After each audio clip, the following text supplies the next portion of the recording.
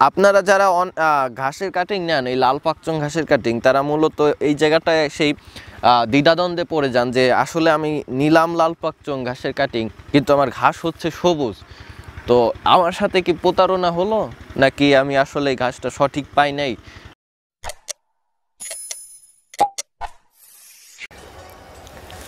সুপ্রিয় দর্শকবৃন্দ, আসসালামু আলাইকুম। আপনাদেরকে আরও একবার স্বাগতম আমাদের এল টিভি এইচডি চ্যানেলে। আপনারা যারা দেশ ও দেশের বাইরে থেকে আমার আজকের এই ভিডিওটি দেখছেন, আপনাদের সুস্বাগতম এবং শুভেচ্ছা জানিয়ে আজকের ভিডিওটা শুরু করছি। দর্শক, আজকের ভিডিওর পর্বে আপনাদের লাল পাকচং ঘাসের যে রোপণের পর যে প্রথম চারা হয়, সেটা কেমন হয় বা কীরকম, সেই বিষয়গুলো আমি দেখানোর জন্য আজকের ভিডিওটা করছি। তো দর্শক, এই হচ্ছে লাল পাকচংয়ের ছোপ। আপনারা দেখতে পাচ্ছেন কত বিশাল ছোপ হয়ে উঠেছে। এটা কিন্তু কাটার পর এক থেকে দুইবার কাটা হয়েছে এই জায়গায় এবং তারপরেই এই বড় একটা ছোপ হয়েছে। তো আপনারা দেখতে পাচ্ছেন এই ছোপটা সবুজ। এখন আমি বলতেছি লাল পাকচং তো আপনারা যারা ঘাসের কাটিং নেন, এই লাল পাকচং ঘাসের কাটিং তারা মূলত এই জায়গাটায় সেই দ্বিধাদ্বন্দ্বে পড়ে যান যে আসলে আমি নিলাম লাল পাকচং ঘাসের কাটিং কিন্তু আমার ঘাস হচ্ছে সবুজ। তো আমার সাথে কি প্রতারণা হলো? নাকি আমি আসলে গাছটা সঠিক পাই নাই? না, কোনো সমস্যা হচ্ছে? না, আসলে এই না, দর্শক, আসলে এখানে কোনো সমস্যা নাই।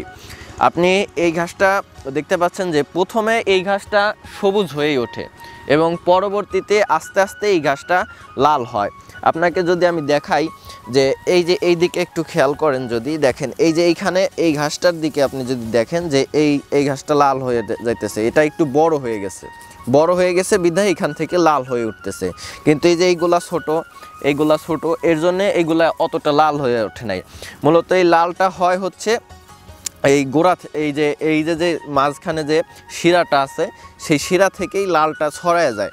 আপনি এই যে এইখানেও যদি দেখেন, এই দিক দিয়ে দেখেন যে এই যে মাঝখানটা লাল আছে, এই যে মাঝখানটা লাল আছে। মাঝখানটা লাল থাকার পর এইগুলো আস্তে আস্তে ছড়িয়ে যায়, যখন এটা আস্তে আস্তে বড় হয়, তখন এগুলা সারা ঘাসের পাতার মধ্যে ছড়িয়ে যায় এবং সেটা আস্তে আস্তে অনেক লাল হয়ে ওঠে।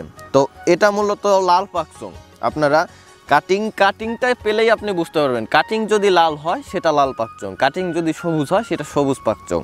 তো লাল পাকচংয়ের সাথে সবুজ পাকচনের কোনো মিল নাই, কারণ এটা লালই হয় আর এটা সবুজ হয়। প্রথম ক্ষেত্রে যদি আপনি দেখেন যে এটা সবুজ হচ্ছে, তারপরেও দেখবেন যে মাঝখানটার ভিতরে, মাঝখানটা লাল আছে।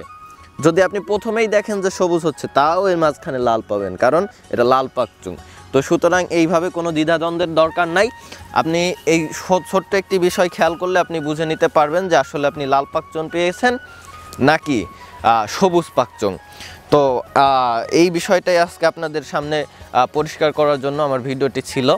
আপনারা যারা আমার এই কাটিং নিতে চান আমাদের সাথে যোগাযোগ করতে পারেন। আমরা বায়োগ্যাসের উদ্যোগে সারা বাংলাদেশে এই ঘাস, ঘাসের কাটিংগুলা কৃষকের মাঝে খুব স্বল্প মূল্যে ছড়িয়ে দেওয়ার চেষ্টা করছি। আপনারা সংগ্রহ করার চেষ্টা করবেন। সবাই ভালো থাকবেন, সুস্থ থাকবেন। শাহরি হাসান লাবিব, রাজবাড়ি, বাংলাদেশ।